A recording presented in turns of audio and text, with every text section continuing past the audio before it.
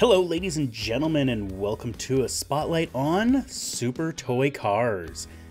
This is a kind of a car micro machines racing game, I guess would be a good way to describe it. It's available on Steam for $9.99. It does have multiplayer. It's interesting. Let's just go with that. So here we are, typical racing menu, nothing too spectacular. So this has a track editor. It is fully workshop integrated. So you go into the track editor, you can create your own custom track, and then you can upload it to the workshop. I have yet to try anything from the workshop. I might give that a try later. It has online multiplayer. I've had some trouble finding matches. Uh, it's pretty simple. There's not a whole lot to it, and the only difference between it and, you know, quick race or career mode is that there's other actual people instead of the, you know, fairly basic racing AI. So let's hop in here and take a look at career mode. So here we go. You've got select a race, select a car, and upgrades. So this is where you can go and buy a car. I have yet to buy a car, and I kind of want this. So, oh yeah. So there's not a whole lot of customization you can do. Uh, it looks like there's only like, what, five? Yeah. Let's do that one. It looks a little rusty. So we will buy the lady, the Horns Ladybug. Yep, yep, let's do that. See what upgrades we've got for it. So we can upgrade the engine. We can upgrade the turbo, the tires, the gearbox. I'm guessing the tires, yeah, the tires will increase acceleration, max speed, and handling. Huh. All right. Gearbox does increases the weight and a little bit on acceleration. The tires do more on acceleration than the gearbox. Right. Weight reduction. Increases acceleration. That should actually decrease traction, I would think. Brakes increase handling. Decrease weight. Interesting. And booster, so you can do quite a few little upgrades. So let's head in here and we'll select a race. So I've done all of that, I've done part of that, and I guess I could do the episode 3. So there's a whole bunch of different, I guess they call it episodes. Let's do the episode 2. I got one point on that one. Alright, let's do one that I haven't tried yet. See how this one turns out. Ah, first across the finish line wins. Okay, so this is just a generic race. So three laps, eight guys, well, eight cars. So as you can see, it looks a lot like your typical micro machines. Oh, you little prick. And you totally missed the eight ball. But I got an eight ball thrown at me. You bastard. I'm throwing an eight ball at you. You dirty jerk faces. So you've got these coins, you've got power-ups. This is kind of where the Mario Kart aspect of it comes in. And... Ha! Gotcha. So most of these power-ups, they pop up... Whoa, what the hell is that? Most of these power-ups, they go behind you. And they got that little camera in the corner there. And then you've got a boost. Whoa, whoa. Crap, man. It's like you lose your handling or something. Yeah, you guys get the hell out of my way. Oop. Oh. And... So you gain a boost by doing tricks. I guess would be the best way to describe it. Oh good, a useless power-up. Whoa! Okay, maybe I should have saved it instead of launching it. I launched it just as I got hit by one. Okay, back off, buzzard. Oh, you went right through it. So it's kind of interesting, except there's not a lot of strategy. Like, for the most part, you don't need to worry about boosting. And I went for this one again. Come on, get in front of me. Ha It's... The tracks themselves, I have not lifted from the gas at all. Under normal circumstances, I would expect to have to at least lift a little bit to go around here. But you you end up gaining uh, this boost by doing drifts, which consist of that. And it's kind of lackluster. Like, look at how far ahead I was. And I'm horrible at racing games. I shouldn't be able to get that far ahead. I have not seen difficulty levels, so maybe there's a difficulty level hidden somewhere. I don't know why it started me there. But all in all, it's a fun little game, but I can't really recommend it because multiplayer plays like this too. There's not a lot of tactic in it, there's not a lot of strategy. If you try to continue, oh, this one's got the mines on it, huh? If you try to be kind of tactical, ah, it's it ends up... Whoa, hello. That guy just popped me. It ends up hurting you more than anything. so, drifting is not really good. And then you've got that, if it detects that you've crashed, it will correct you. You have only a few seconds to correct yourself, before it decides that it's going to correct you. Not really keen on that. It's just... It's lacking in some of the more advanced areas. And I have no idea what those tokens are. Yeah. Eliminated.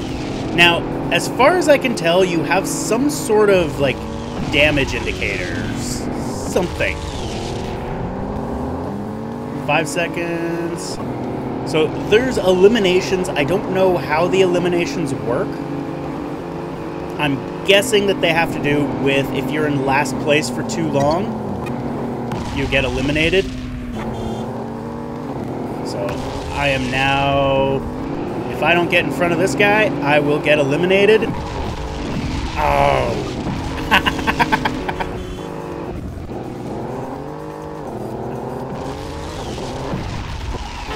and I've been eliminated. Honestly, that is one of the most interesting tracks I've played. Uh, look at the times between... They're all 15 seconds. I don't think you could do that if you tried. That's just really strange that it's all 15 seconds. Anyway, it's interesting, but I can't really say that I'm finding it overly fun. There's a lot of different game modes, which are nice. Some of them are more annoying than others, like the previous one where there's landmines all over the place. Even that, even that, I should have had to do a power slide. Like, that's a power slide, and it really, really just kills your speed. and then there's that. There's also a button that resets you. Now, I wonder if that's only... Nope. I only pressed it during multiplayer. Like, I'm playing with a 360 controller. And if you press the Y key, you'll reset to a certain spot. That's confusing, but I guess it makes sense if you get really stuck. I, I got I got first by two seconds. So there's some weirdness. There's a lot of weirdness going on with the audio. Like you hear, you can hear that. Almost sounds like there's like skipping. Yeah, that that's a thing. I, I don't know why. I, I don't know if it's just because, if it's something that's screwing up with my audio card, or if it's the game itself. I don't know, though I bounced right off of them. I have to say, I have yet to have that problem in any other game. So I'm willing to bet that it's something wrong, something up with the game. It might be something that they designed into the game. I don't know. But overall, it's a great idea. But for the most part, it's kind of boring. You just kind of go.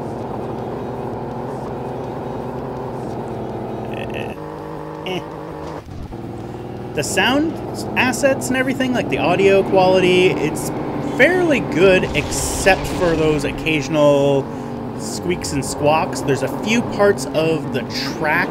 You'll find an overhang. Let me see if we can come across one. Apple's not really a good indicator. There's a few overhangs, kind of like that bowl, but not quite. And of course I got another. Uh, this track doesn't really look like it's got anything. Hey! You dirty jerk. Yeah, that's right. Woo! Oh, wow! Oh, wow. I don't know what the hell happened there. Yeah, you... I don't know what you did. But stay away from me. Give me this. Oh, and an 8 ball. Hooray! Yeah, there's no real overhangs. The closest would be that bowl. And I won by default. yeah, kind of dumb. And each one, 15 seconds again. Very, very strange. Fun, but not not not fun enough to really recommend. The multiplayer is the same thing, the same tracks, the same everything. The AI, as you saw there, is kind of stupid, but I think that's just racing AI. They're, they're, they're really not the brightest. Like that there, you hit. Get out of here. Give me this. Some of the collisions just a little off on some of the overhangs. I've had a few spots where you can clearly drive under it. Your car will clearly fit under it, but I've hit and spun out. And so far, I don't really see any, but we're just in the kitchen area, so this one doesn't have a whole lot of overhangs. Ooh. Oh, that wasn't... Whoa, I overcorrected there. But yeah, I find that you end up losing control by doing the whole power slide that gets you boost. Eh. Don't particularly care for that. So I don't do it. Simple as that. Wow, I can't believe I'm in second place. I'm never in second place. Hey! No, he wasn't far enough in front of me. Oh, you all missed it. Every bloody one of you. And where's where's the car in front of me? I don't think I've ever had an AI car this far in front of me. There he is. Oh, you little jerk.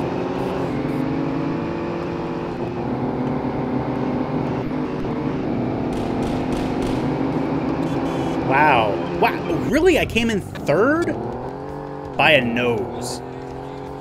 You dirty Billy Lightning. Ed Barkley. Brah. Anyway. So that that's pretty much it. That that's uh That's this. Super Toy Cars. You play through Lego and kitchens in little dinky cars. All right, I hope you enjoyed. Thank you all for watching. This is available on Steam. Link will be in the description, as usual, to the store page. Thank you all for watching. I hope you enjoyed, and we will see you next time.